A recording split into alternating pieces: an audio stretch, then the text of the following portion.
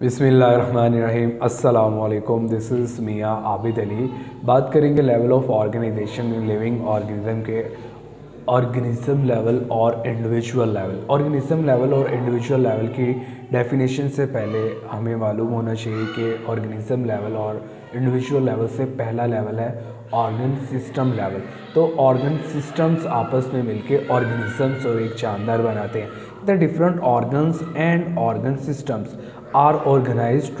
together to form an individual और organism मुख्तलिफ़ organ और ऑर्गन सिस्टम आपस में मिलते हैं, आपस में मुनज़म होते हैं और एक जानदार, एक फ़र्द बनाते हैं, एक इंडिविजुअल बनाते हैं। कहते हैं इन organism various organ and organ system are organise in such a way that all functions processes and activities are coordinated कहता है, जानदारों के अंदर ऑर्गन और ऑर्गन सिस्टम इस तरह आपस में रबते में होते हैं कोऑर्डिनेटेड होते हैं कि उनके तमाम अफ़ाल, सरगर्मियाँ और अमाल एक दूसरे से रबते में होते हैं। मिसाल के तौर पर कहता है for example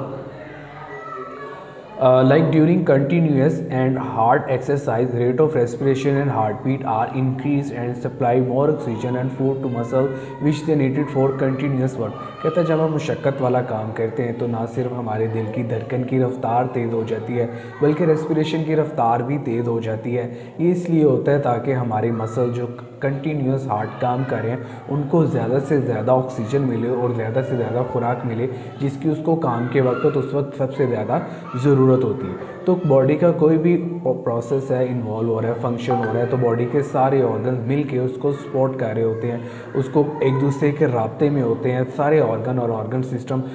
लाइक अभी एग्ज़ाम्पल में बता रहे हैं कि जब हम सीवियर एक्सरसाइज करते हैं रनिंग कर रहे हैं तो ना सिर्फ़ हमारा हार्ट रेट तेज़ हो जाता है, बल्कि हमारी सांस लेने की रफ्तार भी तेज़ हो जाती है, ताकि ज़्यादा से ज़्यादा रेस्पिरेशन के प्रोसेस को ऑक्सीजन मिले और दिल ज़्यादा से ज़्यादा फ़ूड सप्लाई करे और मसल्स को काम करने में कोई प्रॉब्लम ना हो। Thanks for watching